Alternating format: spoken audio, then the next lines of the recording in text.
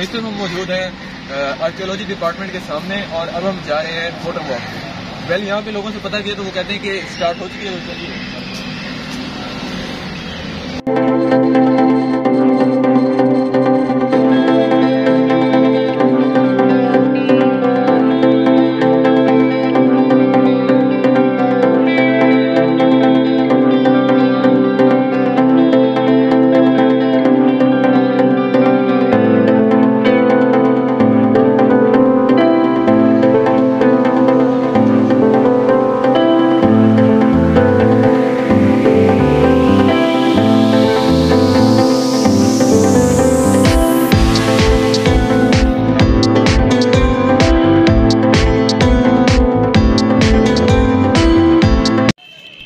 सबसे पहली मंजिल थी घंटाघर और घंटाघर की तारीख के बारे में आपको ज़रा सा ब्रीफ कर देता हूँ।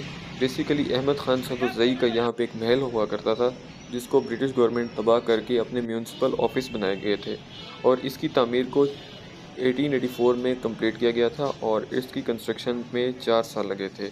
और ये आर्ट और हेरिटेज का एक नायाब नमूना है जो हमारे मुल्तान के वस्त में वाक़ है।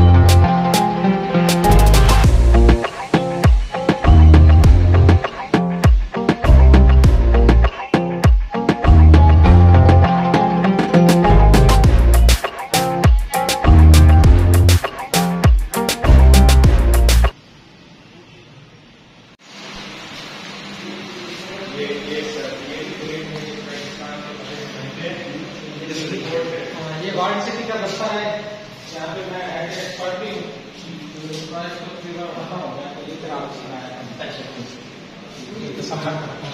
और ये बिल्डिंग देखने में 1884 की बिल्कुल भी नहीं लग रही थी। इतनी फ्रेश और हर चीज़ अभी भी वैसे ही थी जैसे आज से डेढ़ सौ साल पुरानी।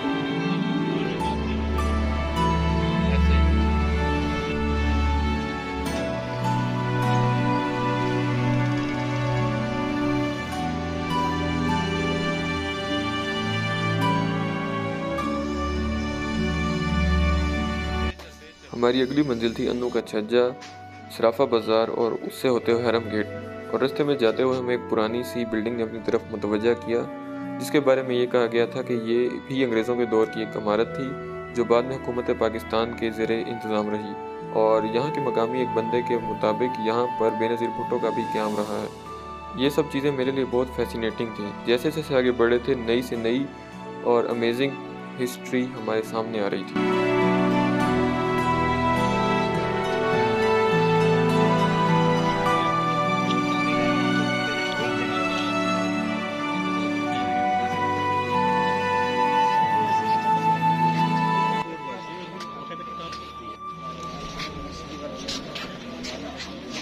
नहीं आ रहे नहीं आ रहे। हमारी अगली मंजिल थी यूसुफ शाह गर्देजी का मज़ार जो कि किले से ही कुछ फासले पर मौजूद था।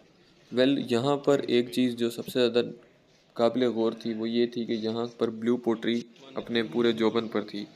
इसके अलावा यहाँ पर शियों का हर साल अजीम शान अलम भी निकलता है जिसकी वजह से ये एक ख़ास अहमियत रखता है।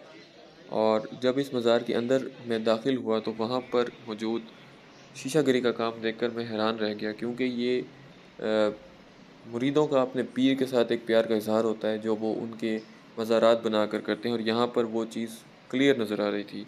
इसके अलावा यहाँ एक करामात मशहूर थी कि ये यूसुफ शाह गर्देजी की कब्र में एक छोटा सा सुराख बनाया हुआ था, जिससे ये लोगों की रिवायत है कि यहाँ से वो हाथ निकाल कर अपने मुरीदों से सलाम किया करते थे, यानी मुसाफ़े किया करते थे। अब इस खबर में कितनी सच्चाई है, ये तो अल्लाह ताला बेहतर जानते हैं। और इस मज़ार की सैर के बाद हम लोग रवाना हो गए अपनी अगली मंजिल अन्नू के छज्जे की जानब।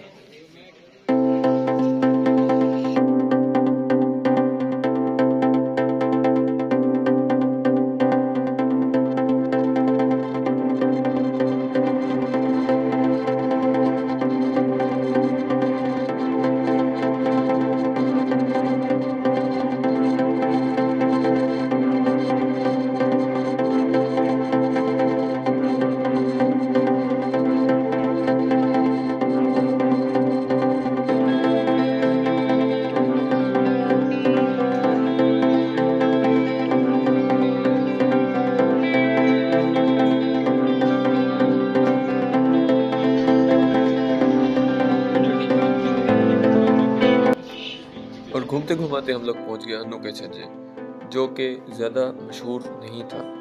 वेल, ये बदनाम इलाका था, लेकिन जब हम गए तो मैंने एक चीज़ नोटिस की दैट वाज कल्चर डाइवर्सिटी और कल्चर डाइवर्सिटी मैंने एट इट बेस्ट देखी, जहाँ एक तरफ़ आपको नाश्ते वाले, निहारी वाले, हलवा पूड़ी वाले मिलेंगे, वहीं दूसरी तरफ़ ड्राई फ्रूट्स वालों की भरमार है। और एक ही गले में आगे चलकर सारे गोश्त की दुकानें हैं। और ये सब कुछ मिल मिलाकर एक बहुत ही खूबसूरत कॉम्बिनेशन पेश कर रहा था। इसको न सिर्फ़ मैं, बल्कि दूसरे शहरों से आए हुए लोग भी काफ़ी पसंद कर रहे थे। अन्नू के छज्जे की गलियों से गुजरते हुए हम लोग पहुँचे सराफा बाज़ार और वहाँ पर हमारा पड़ाव हुआ जैन मंदिर में, जो कि 250 साल पुराना एक कदीम मंदिर था, जहाँ पर जैन मज़हब के लोग अपनी इबादत करते थे।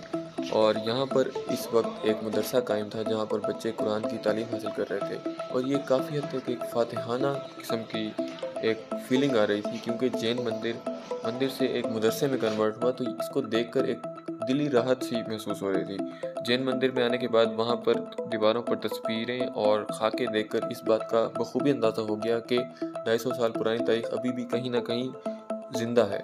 जिसको देखकर मैं काफ़ी खुश हुआ। ना सिर्फ़ मैं, बल्कि दूसरे शहरों से आए हुए ब्लॉगर्स भी इस चीज़ को काफ़ी इंजॉय कर रहे थे कि मुल्तान में इस कदर पुरानी इमारतें अपने जौबन पर अभी भी मौजूद हैं।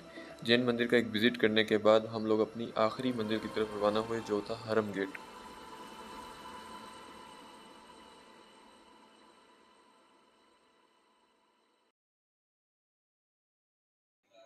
जैन मंदिर के बाद हमारी अगली मंजिल थी हरम गेट। और हरम गेट जाने से पहले सोचा कि थोड़ा बहुत इंटरटेनमेंट हो जाए तो हमने थोड़ी सी खीर खाई जो कि वहाँ की एक मशहूर खीर है, Kaka Kheer Wala which is also famous and old at the same time